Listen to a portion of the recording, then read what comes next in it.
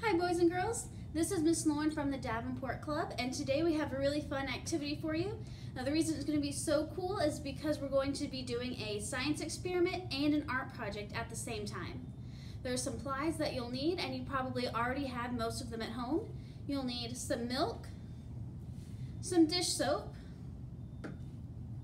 food coloring, a Q-tip, a shallow dish. It can be any sort of dish, a bowl, a really deep plate, or even a baking sheet. And just some plain white paper. Now you'll want to make sure that the paper is small enough that it will fit inside of whatever dish you're using, and you'll understand why that is in a few minutes.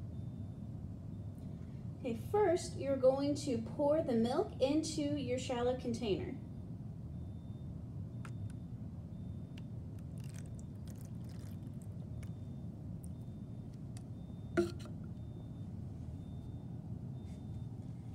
Then you'll add a few drops of each color food coloring that you want to use.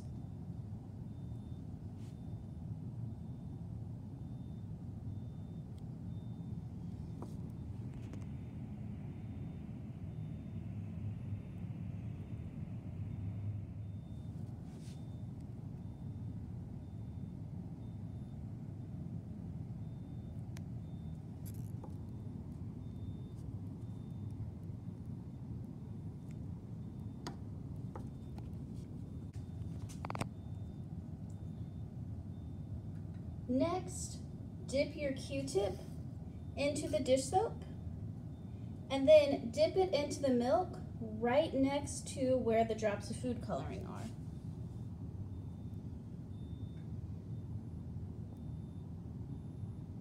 There you can see how they move around. Isn't that awesome, you guys? We'll try this one over here.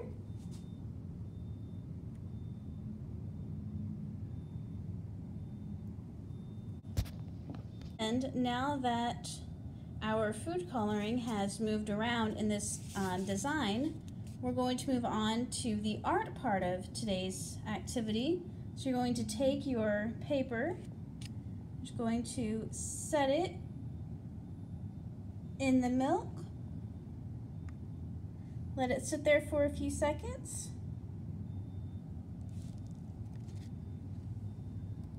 Then you'll pick it back up and then you can keep doing it with as many pieces of paper as you have.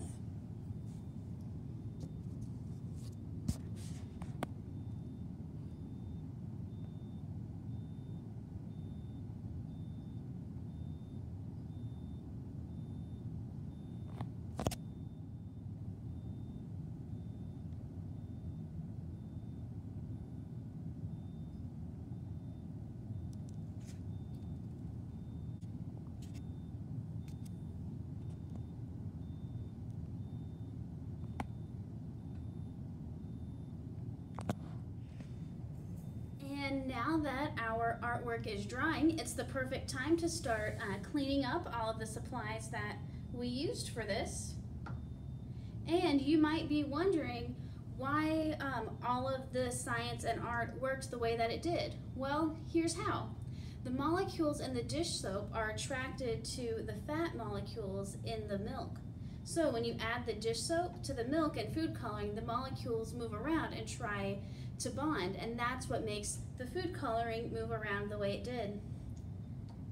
That's all for this video, boys and girls. I hope you enjoyed it, and we can't wait to see you back in club.